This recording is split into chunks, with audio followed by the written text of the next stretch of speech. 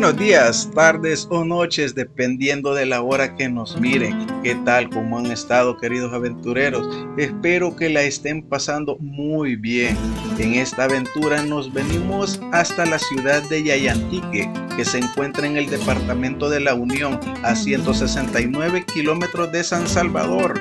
Esta se encuentra a una altura de 300 metros sobre el nivel del mar y posee una extensión territorial de 41.85 kilómetros cuadrados.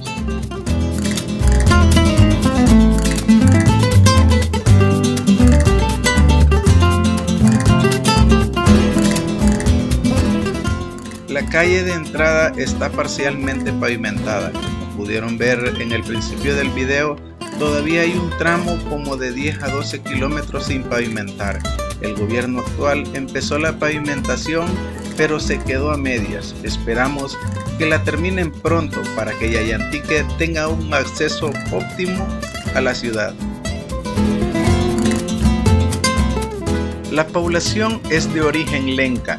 Ellos le llamaron Yayantique, que en lenca significa Cerro del Capulín, y esto era por la gran cantidad de árboles de capulín que existían.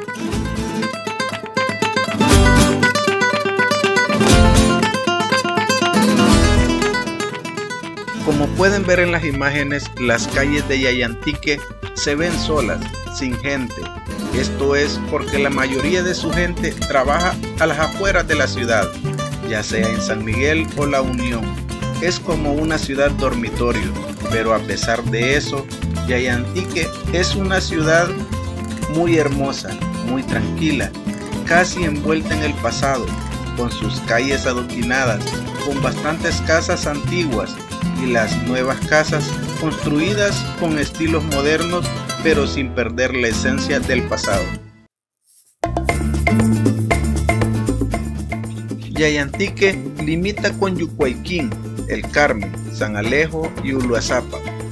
Posee cuatro cantones, El Centeno, El Pastor, El Socorro y Los Amates. También posee 13 caseríos,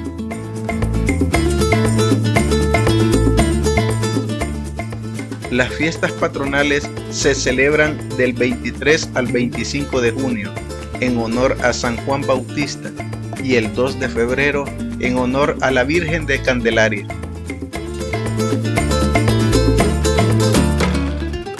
Yayantique posee un clima tropical y gracias a su altura es más fresco que ciudades aledañas.